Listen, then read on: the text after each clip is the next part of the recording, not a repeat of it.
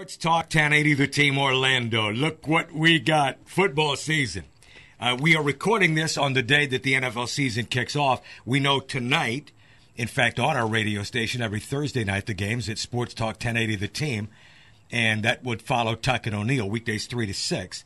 Tonight is the opener of the NFL season. Tom Brady will be playing with New England, defending their championship won a year ago. They have Pittsburgh tonight. We want to look at who we are going to tell this audience who we think will be postseason bound and even crowned at the end of the year.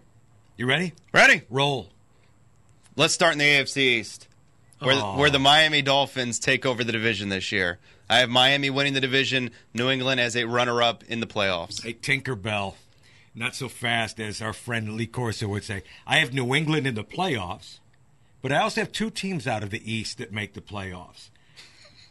What?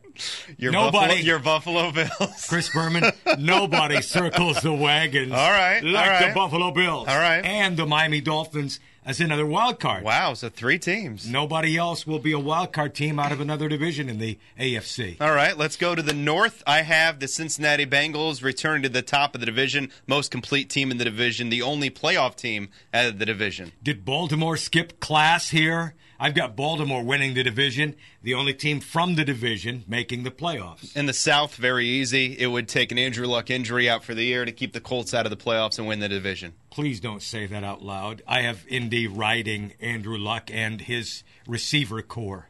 In the West, I have the Denver Broncos uh, reigning supreme, and I have the Kansas City Chiefs, the second place finisher in the playoffs as my other wild card. All right. Uh, that would not be a shock to me, honestly, if Kansas City gets in. I worry about Denver. I'm going to pick Denver to win the division. It may say as much as what I really think about the rest of them. So I'll take Denver to win the division, but I don't think they're going to look very good through parts of this year. I love the defense in Denver. In the NFC, let's go to the East. I have the New York Giants going to the top of the division this year with 10 wins. That's funny. They don't even believe that in their own friggin' huddle. Okay? Philadelphia wins the division. Dallas makes the playoffs out of the East. No one else out of the East. Just the Giants get into the playoffs. All In right. the North, the Green Bay Packers win the division. Last year, I was bold enough or stupid enough to pick Minnesota, believe it or not, to win the division. I got Minnesota making the playoffs this year. I was on board the bandwagon a year too early. But you also thought that maybe Adrian Peterson would play all of last year, not just one game. True. I've got Green Bay winning the division. It's not their only accolades of the year. That's to come. All right. Minnesota also making the playoffs. I like Teddy Bridgewater in his second year with Adrian Peterson. What's not to like? The South, it's a coin flip for me between uh, New Orleans and Atlanta, and less drama in Atlanta. I like the Falcons at nine and seven, winning the division. And of course, obviously, nobody in that division was above 500 a year ago. Atlanta will be the only team above 500 this year. They win the division. In the West, after a lot of thought, I have knocked Seattle down a peg as a division runner-up. I have the Arizona Cardinals edging them out. Same record, winning a tiebreaker, each 11 and five. Arizona winning the division. Seattle wild card team. You know what Carson Palmer got in the mail on Wednesday? Uh, his first AARP newsletter. Okay? That's not going to happen. What are you, crazy?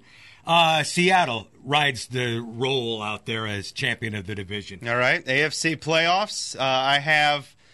What, what do we want to start? Say the wild card round. I have the Dolphins advancing with a win over Kansas City. I have uh, the Patriots advancing with a win over Cincinnati on the road. They advance. Miami upsets Indianapolis and Indianapolis. Denver knocks off New England. And then I have the Denver Broncos returning to the Super Bowl, beating Miami in the AFC title game. The running game, the defense reminds me of, oh, I don't know, Denver Broncos with John Elway at the end of his career. I have not gone into the depth of who's going to win wild card games. I've got your AFC championship game. That's Baltimore beating New England. Baltimore goes back to the Super Bowl. Wow. And in the NFC, I'm going all the way with it. I'm going to say the Arizona Cardinals beat the Seattle Seahawks.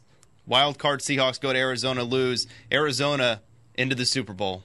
Where's the Super Bowl this year? Levi Stadium. It's in San Francisco, right? yeah. Uh, no. I mean, I don't even have Arizona in the playoffs. How could they get to the Super Bowl? We'll take Tinkerbell late in the year. I have Green Bay, Seattle again. Last year, Green Bay uh, had Seattle on the ropes in Seattle, and only an act of God or two allowed Seattle to win. Remember the fake uh, field goal touchdown and then the onside kick buffoonery? Green Bay wins the NFC uh, championship. And who wins the Super Bowl? Green Bay beats Baltimore in the Super Bowl. All right, I got uh, Denver and John, and uh, excuse me, John Elway, Peyton Manning riding off into the sunset. Thirty to seventeen, Broncos win the Super Bowl. I hope Peyton Manning plays through the year.